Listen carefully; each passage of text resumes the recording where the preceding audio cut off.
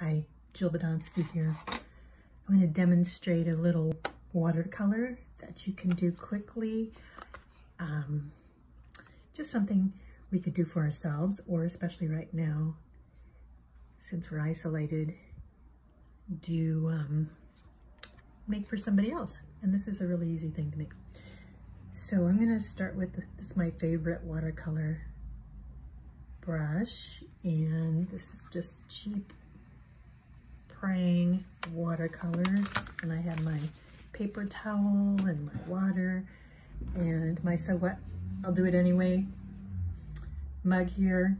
So if things don't come out right or I judge myself, that's So What, I'll do it anyway. And my tolerance bracelet because of all the things I have to tolerate. So what we're gonna do.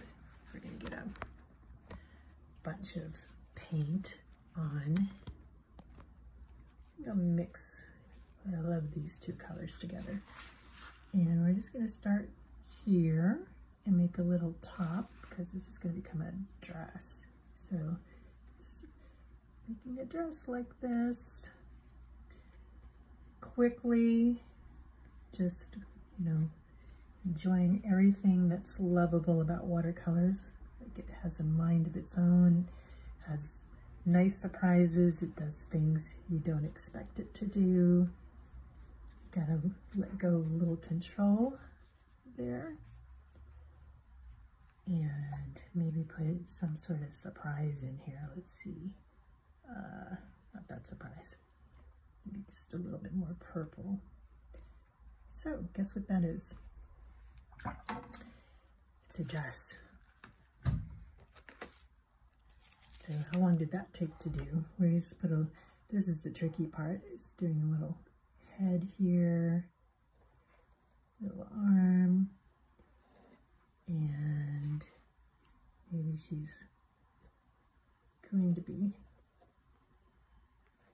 holding some little flowers. And I like to do a weird hairdo because I have weird hair.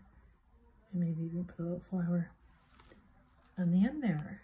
And then when it dries a little bit, I like to go back with sparkly pens and put a little sparkle in things. I don't know if you can see that sparkle.